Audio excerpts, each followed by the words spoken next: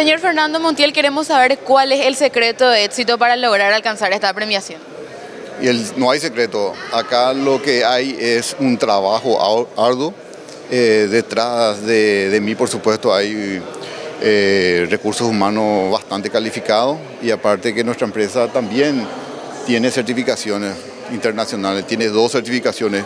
Una es la ISO 9000 y la otra es la certificación que otorga la Dirección Nacional de Aduana, que es OEA, Operador Económico Autorizado.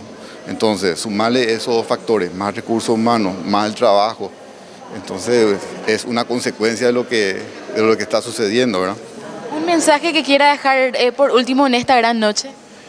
Y bueno, le insto a todos los colegas despachantes que se sumen al éxito, que no tengan miedo, que trabajen en su equipo, que trabajen en las certificaciones, que se regularicen, que se formalicen, porque la Dirección Nacional de Aduana es bastante compleja, ¿verdad? Si uno no está calificado para el trabajo, realmente no está dentro del rubro. Somos 3.000 despachantes, imagínate que seamos top 10, 10 de los 3.000.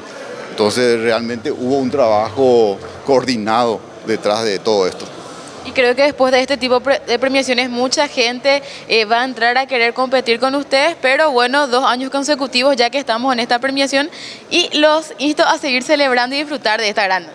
Muchas gracias a Cinco Días por acordarse de otra vez este año como mejor despachante 2023, porque 2022 ya estuvimos ahí. Su trabajo, su merecimiento, señor Montiel. Muchas gracias. Muchas gracias.